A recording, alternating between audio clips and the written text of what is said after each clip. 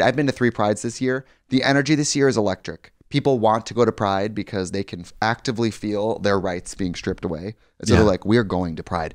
My gig in Milwaukee, a 78 year old man came to the meet and greet. He said, we, me and my husband don't ever go out anymore, but with everything going on in the news, we feel like it's important to support gay bars right now. No matter gay, straight, or bi. Lesbian, transgender, life. That's right. I'm on the right track, baby. I was, born, to survive. No matter black, white, or la, beige. Chola or Orient maid. Rah, rah, ooh la la. Just shitting my pants. Do you know how many times I say alone in my house? Rah, rah, ooh la la. I'm shitting my pants. I believe it. like, rah, it's like a conductor like- or like a, you know, a band leader. It's like, no, it's rah, rah, ooh la la. Just shitting my, pa- pants. So you say it in that cadence Yeah. to no one. Right.